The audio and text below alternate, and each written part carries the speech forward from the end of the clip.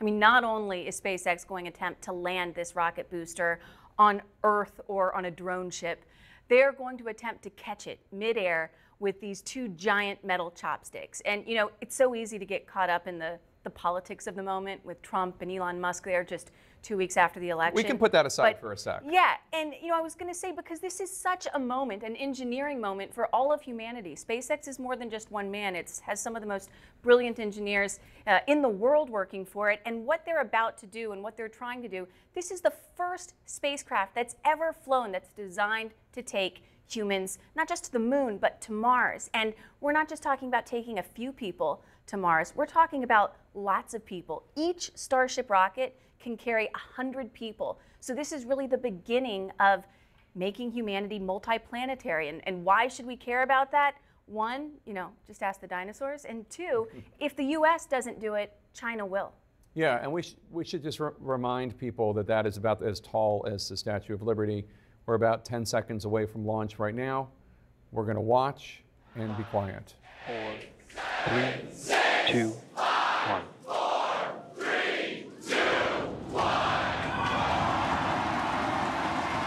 Okay, lift off.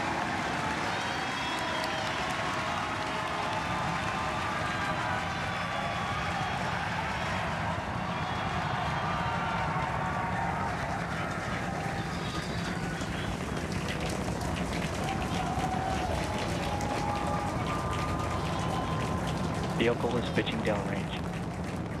Booster Raptor, chamber pressure nominal.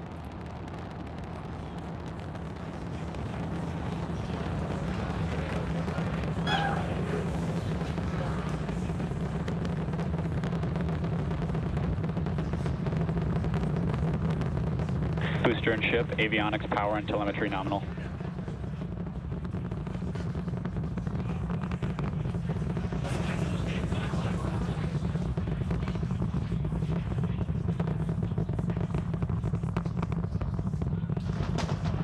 Vehicle All right, we're just a little over a minute maximum into flight. dynamic We're about six miles away, so all the sound's still hitting us here. Hearing good call outs that power telemetry nominal, that's flying straight and true. We do see all 33 Raptor engines lit up on telemetry screens.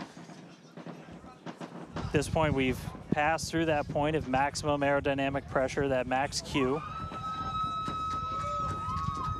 Now, coming up in just a little over a minute from now is going to be hot staging. So we're going to see the six engines on the ship ignite while still attached to the booster. Just before that, we'll see all but three center engines on the booster shut down.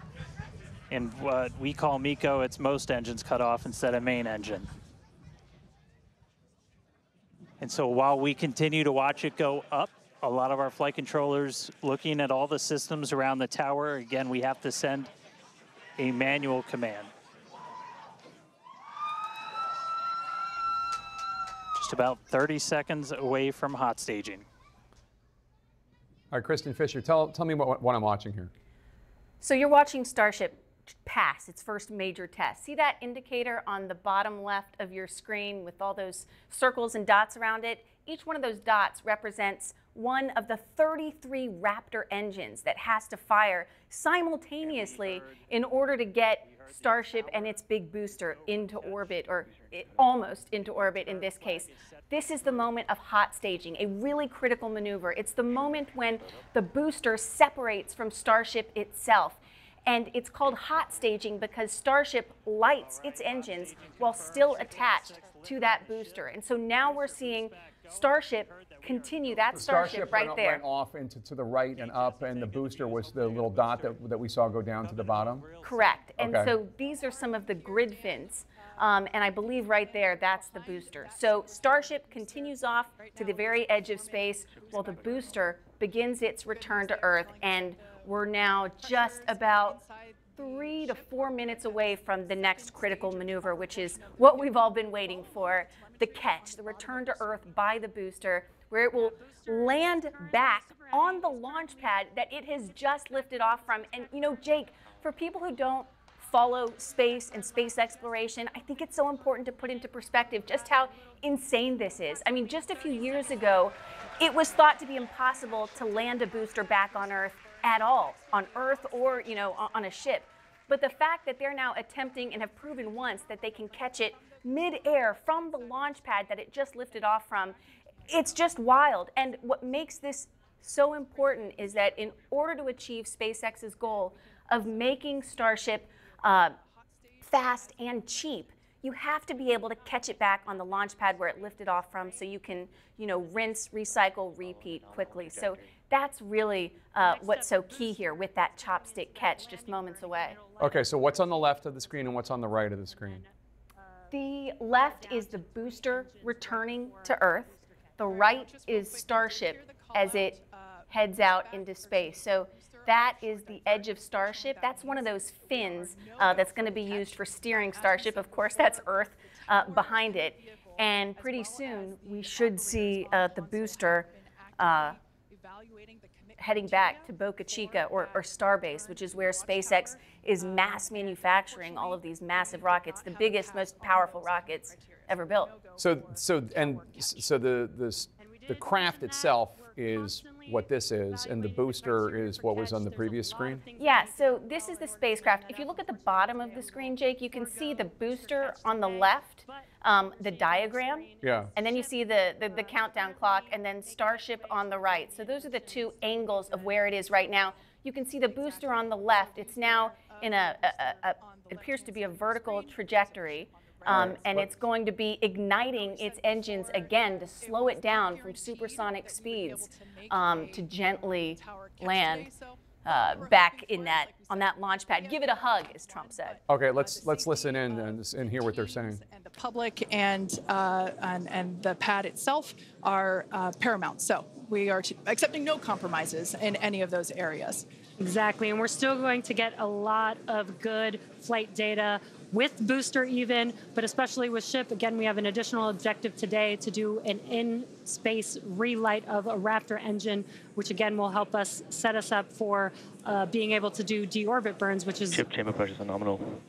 which which is important for orbital flights. And what you're seeing on your screen is a view from Super Heavy as it's making its way back down to Earth. Yeah, once again, we are attempting an offshore landing of the Super Heavy booster. Uh, so we have seen this before, uh, and it is still very fun to watch, watching it come down uh, for a soft splashdown uh, off the Gulf Coast of Texas.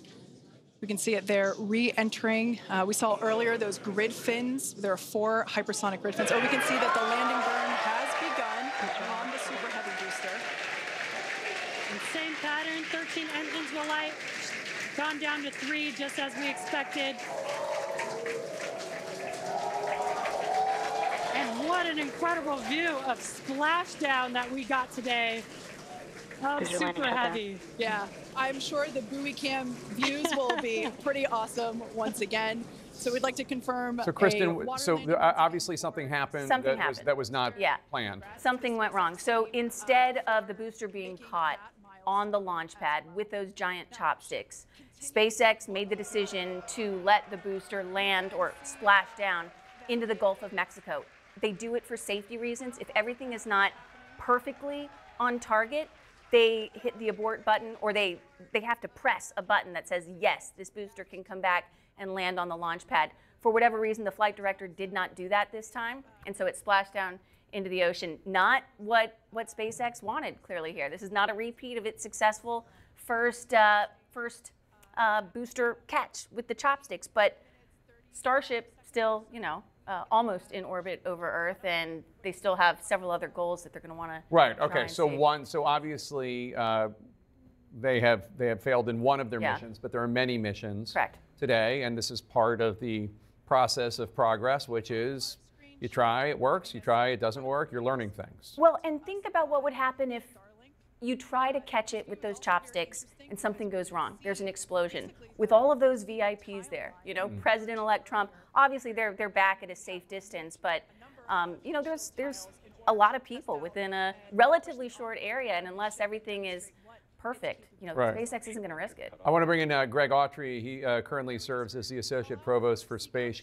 Space Commercialization and Strategy at the University of Central Florida. He's been heavily involved uh, in NASA. Greg, give me your thoughts. And also, uh, the, right now, uh, the first question I have as, a, as an ignorant civilian here is I'm assuming they can retrieve the booster from the ocean, yes?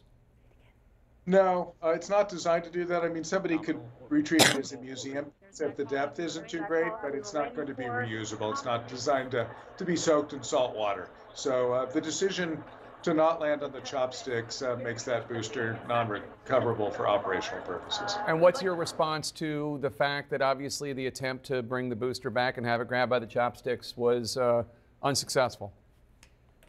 Uh, I don't know what the decision-making process was yet, or, or the failure mode, or maybe they just want to be careful not to kill the president-elect of the United States by any chance. Uh, but it looked really good to me. I mean, if you watch the angle the booster came in, it was perfectly vertical. It hovered right before it landed, so it looked very much under control. So uh, I want to see what's going on, but I, I don't think they had a big anomaly because it, it looked really good to me. I think they were just abundance of caution.